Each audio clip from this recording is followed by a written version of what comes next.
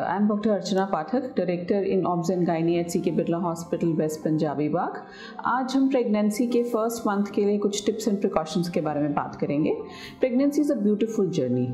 है ना once we are blessed PRP, the urine pregnancy test comes positive, everyone in the household is very happy. But कुछ बातों का ध्यान रख के हम उस जर्नी को बहुत ही अनइवेंटफुल और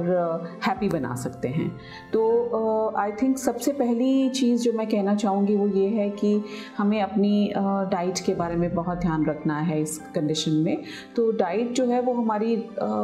लो काब लो फैट होनी चाहिए और प्रोटीन रिच होनी चाहिए। कैल्शियम उसमें भरपूर मात्रा में होना चाहिए। और प्रेगनेंसी कोई बीमारी की तरह ना लें तो बहुत अच्छा रहेगा बिकॉज़ ये एक नेचुरल ट्रांजिशन है एक uh, हर लड़की की लाइफ में which she goes through so second thing I would say would be important thing is to exercise regularly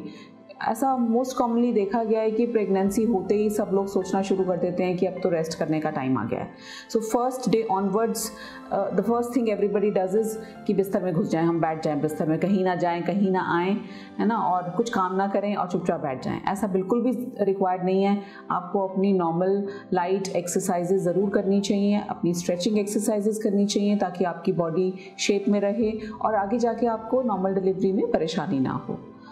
और तीसरी इंपॉर्टेंट चीज़ जो मैं कहूँगी कि आपको अपनी स्लीप का बहुत ध्यान रखना पर चाहिए। आपको कम से कम आठ घंटे की sleep in the night and two hours of sleep in the day time is necessary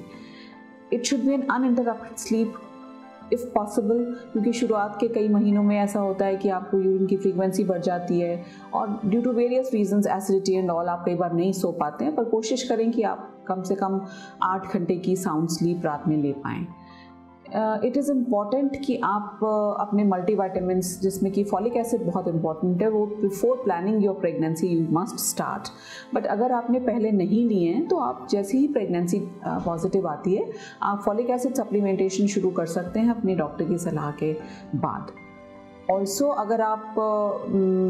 alcohol uh, लेते हैं या स्मोकिंग करते थे तो आप इन दोनों चीज़ों को कृपया बिल्कुल अवॉइड करें प्रेगनेंसी में. और excess of caffeine intake is also bad so उसको भी बिल्कुल बेयर मिनिमम क्वांटिटीज़ में लेना चाहिए अपनी हाइजीन का ध्यान रखना चाहिए अपनी प्रेगनेंसी से रिलेटेड किताबें पढ़नी चाहिए ताकि आप अपनी आगे की प्रेगनेंसी की जर्नी के लिए जानकारी प्राप्त कर सकें और अगर आपको कहीं भी कुछ कन्फ्यूजन्स हैं तो वो अपने आप डॉक्टर से क्लैरिफाई कर सकते हैं और उनकी गाइडेंस में आप जानकारी ले सकते हैं। और पानी बहुत अच्छी मात्रा में पीना चाहिए, क्योंकि पानी is kind of a detoxifying thing so good quantity of water should be taken अगर because of vomiting and all आप बहुत अच्छी क्वांटिटी में पानी नहीं पी पा रहे हैं तो आप पानी, जैसे नारियल पानी छाछ, नींबू पानी, इस तरह के फॉर्म्स में आप पानी ले सकते हैं। पर कृपया एयरेटेड ड्रिंक्स को अवॉइड करें, क्योंकि और जो ये कैंड जूसेस आते हैं they also should be avoided fresh fruits are much better choice it is best to uh, you know go by your doctor's advice in your pregnancy journey to have an uneventful and healthy pregnancy journey and a healthy outcome in, a, in the form of a healthy baby. Thank you very much